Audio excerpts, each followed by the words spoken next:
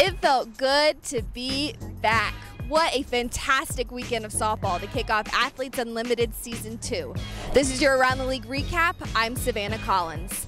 I got chills a couple of times looking into the stands and seeing packed out crowds. It was such a long awaited moment for the league, and I think Gwen Svekis puts it best into words. I walked onto the field and had butterflies that I've never had before. Seeing how many people showed up for our first day back in a couple years was mind blowing. Listening to them, they went crazy during one of the inning breaks, and I was like, oh my God, we're back, we're here, and people are so eager to watch us. So I'm excited to see people continue to come out, and I'm excited for what the future has uh, for Athletes Unlimited.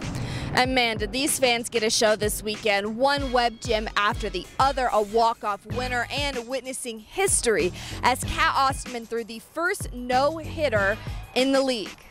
Team Osterman went 3-0 on the weekend. Does that sound familiar? and you know what that means.